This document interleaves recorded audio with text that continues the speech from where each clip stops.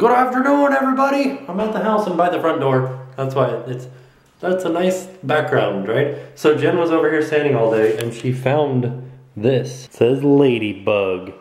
So weird. I don't know what that means. So here's how it looks in here after Jenn did all of her sanding today. I think it looks awesome. It's totally like a different. You can't see where the uh, where the other sander. Well, you can see it, but once I wipe it down, I don't think you'll be able to see it. And then I gotta stain all that, and then we're good to go. Put some polyurethane on there, and it'll be good to go. We have this one closet with this crazy black stuff in it. I don't know what it was, but I'm gonna try paint thinner on it. See if it gets it like loosened up. Part of me is saying, come on Tim, you can do it, it's a closet, you can do it. And the other part of me is saying, are you really gonna spend three hours on a closet? No, I'm not. This is as good as it gets. Looks kind of cool. What do you guys think? Can you see the boards that I replaced? I didn't think so. So we're totally at a point with the floors where we're like, let's start doing the polyurethane. And then we looked outside and it was dark. And there's no overhead lights in any of the rooms. We would have to have a lamp. Can't put a lamp on the floor if we're putting polyurethane down. And we can't get to the plug to move it to a different room if there's polyurethane in the way. So we have to wait till tomorrow to do our first coat of polyurethane, which stinks, but I think we're gonna try to do it right. We also determined today that the polyurethane has a 14 day cure time, but a week for heavy traffic. So we're not gonna give it the full 14 days before moving everything in upstairs. We're gonna give it a week, but we're planning on moving in on Saturday.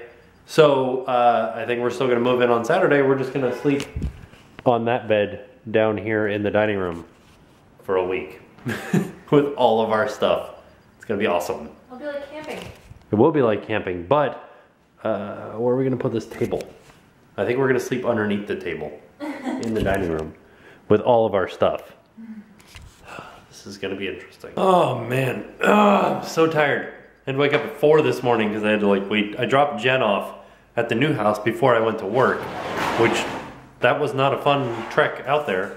But uh, I do know how long it takes me to get to work from the new house though now. And now we have to go get, uh, the same people that gave us the dining room table are giving us a recliner. So we're gonna go get the recliner tonight because that's the only time that they can do it. So that's what we're about to do. So I was using the sander for a little bit today and I was wearing a mask. And I still have these lines on my face from wearing the mask. How did Walter White cook meth and not get caught? Like, he would have had all these lines on his face from wearing that mask all the time, right? Anyways, I was just laying down for a minute because I'm tired and my eyes happened to close and I happened to drift off. I had the most wonderful dream about me going back to England and we were up on the top of, we went to Tintagel Castle, which was like the place where King Arthur was conceived. Um, there's not very much there, it's kind of ruins now, but it's kind of on the top of this big cliff. And I was sitting there thinking like, it was icy when we were there, like there was icicles hanging down. And I had a dream that we were playing around on this patch of ice and I slipped and I fell and then I slid off the side of the cliff and I ended up like breaking my arm off, like pulling it all completely off on the side of the mountain, breaking a leg and then going into the ocean down below into the crashing waves and then riding a wave to the beach using my good hand to like pinch close the, the crazy arteries that are in your arms and got up there on the beach and then like survivor manned it by like taking off all my clothes and building a fire until the police got there and then when the police or the ambulance got there and then I was like, hey, paramedics, make sure you guys grab my arm. I'd like that back please. And then I was like, wow, who are you? That was my dream. Here's our new recliner chair. Oh, I was trying to get this door open, but it's stuck. Hold on. All right, and here's a life all right, and here's a life lesson for you guys. Most recliners nowadays have these little clips on them right here that if you pull up on this tab, it releases them from this right here. So you can take the back off of it so that you can transport it in most any vehicle, like we have it in the Suburban here. But there's a ton of room, and I really think that we probably could have gotten it in the car if we tried hard enough, but yay, look at it, look at how soft it is.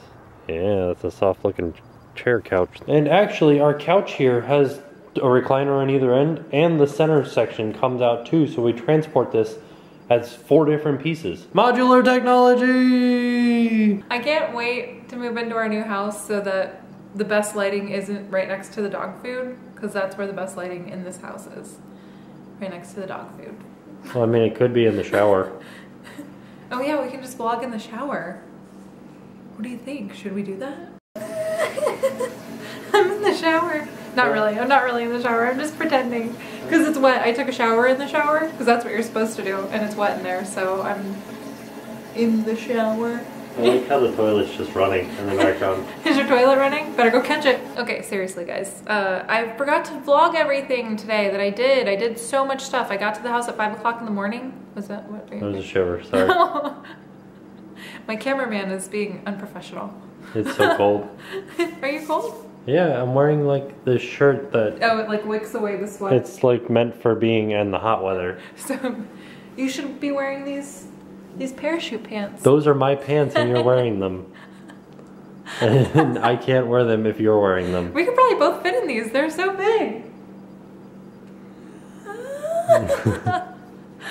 okay, we won't. We won't really do that. But um, so I went to the house today at 5 a.m. and I cleaned. Was it five? It was six. It was five. It was close enough to five. Yeah, I woke you up at 5.15.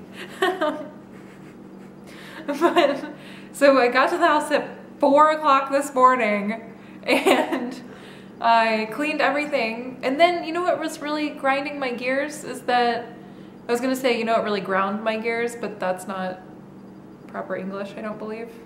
I'm not sure. Let me know in the comments. But I was really upset because I cleaned everything downstairs and then I went upstairs and I started stand started sanding and everything downstairs got dirty again and I was like I cleaned for like two hours straight. So that was fun. Uh, and then I was sanding the outsides of the rooms for seven hours. And my wrists hurt like really bad. And I actually kept sanding my hand right here. I don't know if you can see that. But I kept hitting it. Whoa. Yeah.